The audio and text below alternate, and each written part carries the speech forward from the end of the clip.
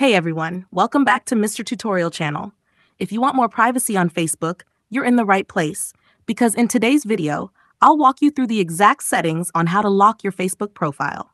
By doing this, you can 100% control who can see your photos, past posts, friend list, and how your profile appears to people who aren't your friends. If you're new here, hit subscribe and the bell icon so you don't miss easy tech tips every few days.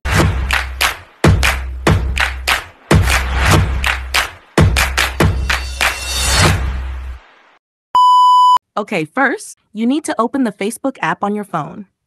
Then, on your Facebook homepage, tap on the menu icon here. Next, you'll see this menu page appear. To lock your Facebook profile, tap on the Settings option at the top. You'll then see the Settings and Privacy screen. Scroll down until you find the Audience and Visibility section. At the bottom of this section, you'll see Profile Locking. To lock your Facebook profile, just tap on this option. Then you'll see the Lock Your Profile screen. By activating the Lock Profile feature, you should know that only your friends will be able to see your past and future photos, posts, and stories on your profile. So here, just click on Lock Your Profile to lock your Facebook account. After that, you'll see this confirmation screen showing the status you locked your profile.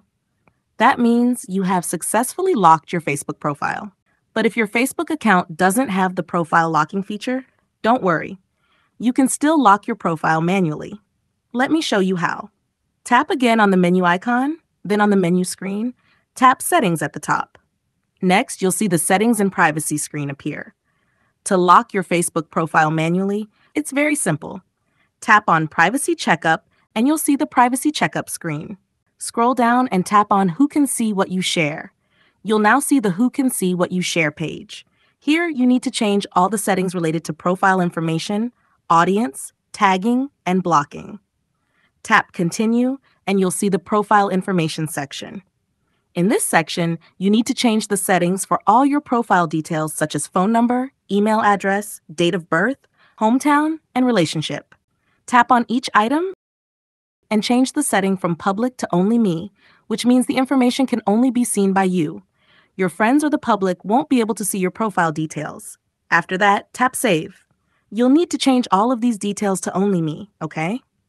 Then tap Next, and you'll see the Audience section. In the Who Can See Your Future Posts option, tap it and select Only Me. This means only you can see your future posts. Tap Save. Next, tap on Who Can See Your Stories, choose Friends, and tap Save again. Then tap Next, and you'll see the tagging section. In this part, tap on Who Can See Posts that you're tagged in on your profile and select Only Me again. Tap Save. Next, tap Next again, and you'll see the blocking section. For this one, you can just tap Next. After that, you'll see the message, You're all set. That means you've successfully changed the privacy settings for your Facebook account. In other words, you've successfully locked your Facebook profile. Easy, right? And that's all for today's tutorial.